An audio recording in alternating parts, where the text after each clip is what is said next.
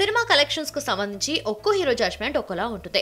ఒక star hero వద్దన్న cinema ఇంకో హీరో వద్దకు వెళ్ళటం అవి బ్లాక్ బస్టర్ హిట్స్ కావటం ఇండస్ట్రీలో సర్వసాధారణం. ఈ నేపథ్యంలో టాలీవుడ్ ఐకాన్ స్టార్ అల్లు అర్జున్ కూడా ఓ బ్లాక్ బస్టర్ సినిమాను మిస్ అయ్యాడు. ఇదే మూవీతో బాలీవుడ్ కండలి వీరుడు సల్మాన్ ఖాన్ ఏకంగా ఇండస్ట్రీ హిట్ కొట్టాడు. ఆ సినిమా ఏంటో తెలుసా? బజ్రంగి భాయ్జాన్. అవును ఈ సినిమాలో మొదట హీరోగా అల్లు అర్జున్ అనుకున్నారట మేకర్స్.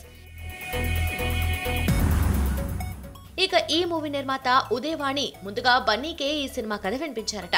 అయితే అప్పటికే టాలీవుడ్లో స్టైలిష్ హీరోగా మంచి గుర్తింపు తెచ్చుకున్న అల్లు అర్జున్ చేతి నిండా సినిమాలతో బిజీ బిజీగా ఉన్నారట.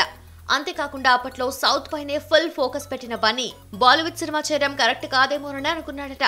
అలా అల్లు అర్జున్ నో చెప్పిన తర్వాత బజరంగి కథ కోలీవుడ్ స్టార్ హీరో రజనీకాంత్ దగ్గరకు వెళ్ళిందట. ఆయన కూడా వేరే ప్రాజెక్టులలో బిజీగా ఉన్నారని ఈ స్టోరీ తనకు సూట్ అవ్వదంటూ చేతులెత్తేశాడట.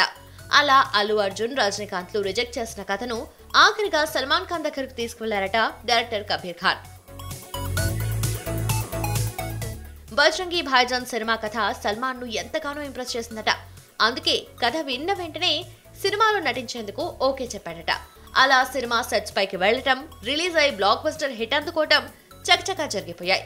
ఇక రెండు వేల పదిహేనులో రిలీజ్ అయిన బజ్రంగి భాయ్జాన్ ఓవరాల్గా తొమ్మిది వందల అరవై కోట్లకు పైగానే వసూళ్ళు సాధించింది. ఈ సినిమా సల్మాన్ కెరియర్లోనే మరో మైలురాయిలా నిలిచిపోయింది.